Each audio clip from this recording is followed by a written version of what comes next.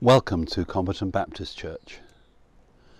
Today was originally the Sunday when we could start meeting together again. Unfortunately, this has now been delayed by a month, so our first time together is now planned for Sunday, the 25th of July. This morning, our minister Keith will be preaching and Sharon will be leading sung worship. My name is Bob and I will be trying to stitch together the various elements. We are currently following the New Testament letters of Peter, and this week move on to his second letter with the theme Being Effective.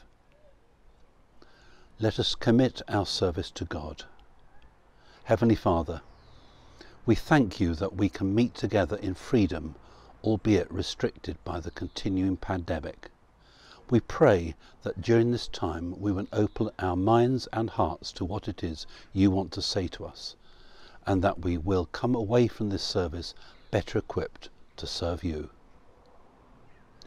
We ask this in the name of our Saviour Jesus Christ. Amen. Sharon will now introduce our first worship song. Good morning. Our first song this morning is a song that calls us to worship and it invites us to come, let us worship our King. And it reminds us of the great things that God has done and that He can do in the future.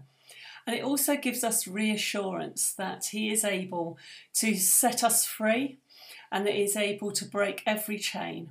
Any chains that bind you, any things that really keep you a prisoner to unpleasantness, um, to uh, difficult situations in life, God can provide the way to be set free from those, not necessarily to avoid them altogether, but to enable us to know the safety of His presence with us.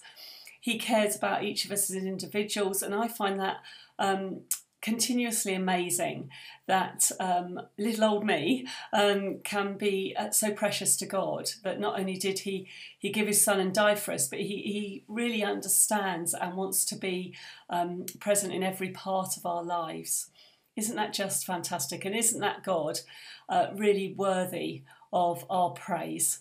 So, come let us worship our King.